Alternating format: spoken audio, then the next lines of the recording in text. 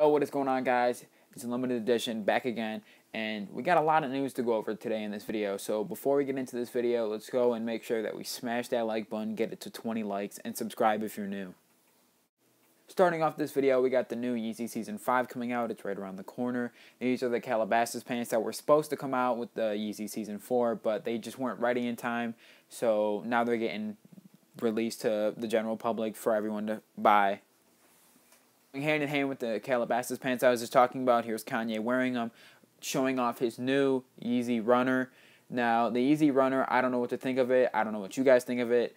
I think it is a, definitely a wacky shoe.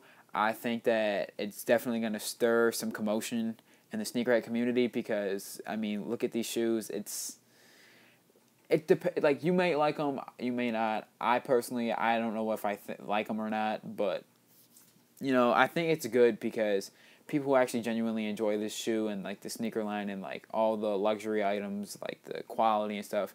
If you like all, if you're into all that, this shoe is gonna be perfect for you. But if you're like more into like looks wise, most people I think are gonna stay away from this shoe. I think this is definitely gonna be a weird shoe, and I can't wait to see how it does coming out. Off the Yeezy topic of the day, we got a new image of the 350 V2 cream colorway. Now, every two weeks or so, there's a new sample pair of the Yeezys 350s V2 coming out. You know, this year is going to be really good for the Yeezy line. So we don't know if this is a if this is actually going to drop or if this is just like one of those things where it's just you see pictures or blah blah blah. So yeah, but this is the new 350 cream colorway. Moving away from Kanye West and the Yeezy line, we got Lil Yachty becoming the new creative designer for Nautica. Now you guys might be thinking, oh, so what, who cares? Well, it's actually pretty big being that he's only 19 years old and he's only been in the game for like how long? Like he hasn't even been in, like he hasn't been big for like what, two years? So this is pretty crazy being that he's only 19 and he's only been around for a short time. As some of you guys may remember, he was actually the face of uh, the Urban Outfitters Nautica line uh, back in November. So that might actually have been one reason uh, that actually been a little bit of an influence as to how he got uh, how he got to where he is. Last big thing we have to talk about in this video is the Supreme and Louis Vuitton 2017 collaboration. Now, as some of you guys may remember, back in 2000, Supreme actually had a little rip on Louis Vuitton, creating all these little, uh, this little clothing line with them, like kind of in it, but they didn't really get any like consent from Louis Vuitton.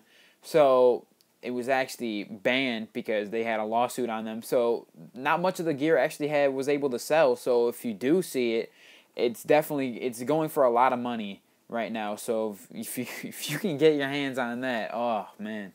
Now finally after many years it has been confirmed that Supreme and Louis Vuitton are actually going to be getting together. It was just released and well not just released but it was just brought up in the fall winter line that they had going on and in this line, it's going to feature some hats, some shirts, some bags, shoes, uh, skateboards, plenty of other things that you're going to be seeing along with it.